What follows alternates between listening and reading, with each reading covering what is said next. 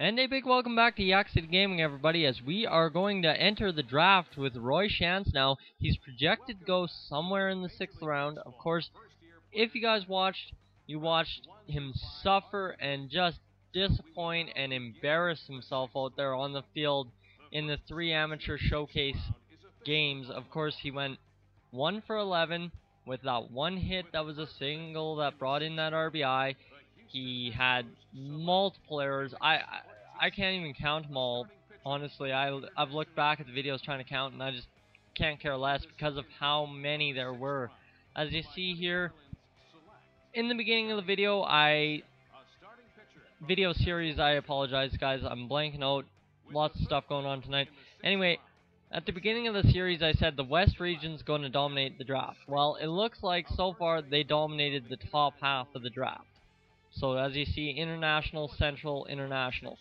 So I don't expect uh, Shantz to go too high in this round. I'd say probably 15 down to 20, somewhere in there.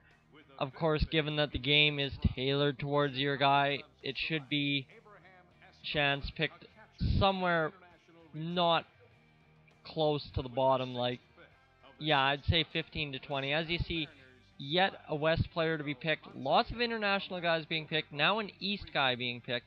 So we've had one from every region except the West so far.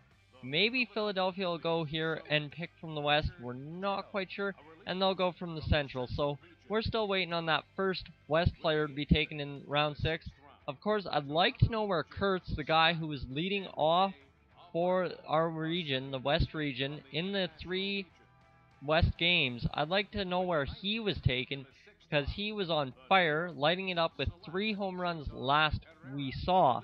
And I'd like to know where he went. I'd like to see him in the majors same time as us. Of course, I'm not sure if that's going to happen. He could have had an F potential and just somehow computer generated random craziness.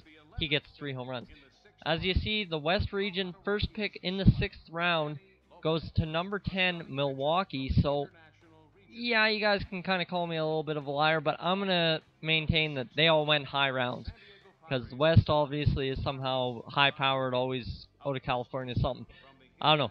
You guys object to that, comment and yell at me, whatever. But as you see, the International is really dominating this round as I'd say, I, I forgot to count this, but it goes International, International, and then somebody else from another region, then maybe someone else, but it usually ends up going back to international.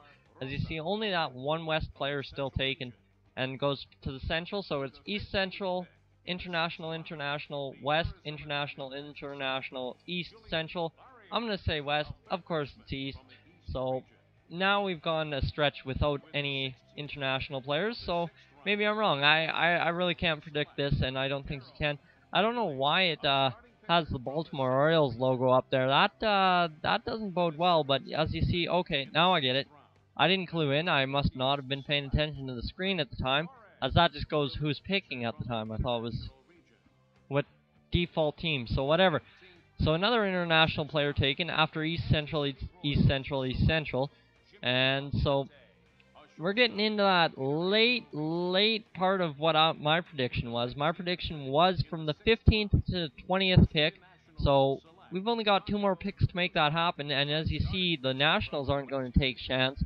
So, are the Reds? That's a good question. Are the Reds going to take Shantz and take a chance on someone who can't field? And no, they're going to pick Lee Sung from the international region. So is Texas, now that I'm a pick late, going to take Shantz. And no, once more they won't. So Shantz, of course, really needed a good showing, didn't have one. So disappointing overall. And this is going to be a disappointment for sure.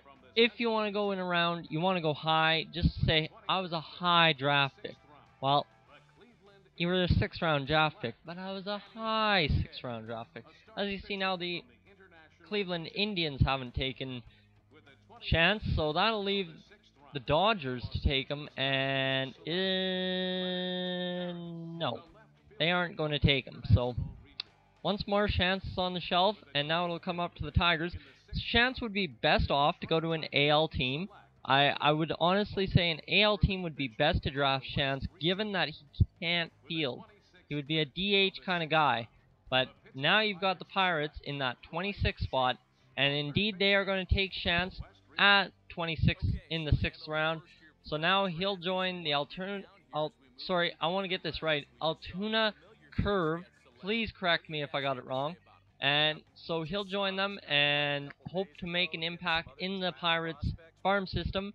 Of course, if he still can't field, I hope and pray for him that he can get transferred over to an AL team to become a DH. Of course, we're going to sign with the team. There's no reason not to at 53 overall. And 80 training points, so it'll be the Erie Seawolves and the Altoona Curve coming up right away in the next game for Yak City Gaming. As you see, Shantz is below William Fox, but Shantz only has a D potential. So he's gone down from what he originally started with entering the showcase. So William Fox is his competition. Of course, Fox is on the bench, and you'll see Shantz there and third base, but he is DH against left-handers when there is a DH. So I'm not sure if Altoona plays with a DH or not. I've never played for Altoona in my career, so we'll see uh, what that brings. And so that'll pretty much wrap it up for this edition of the Yak City Roy Shantz RTTS mode. I'd like to thank you guys for joining me. Please subscribe, watch the last episode, and as always, so long from Yak City.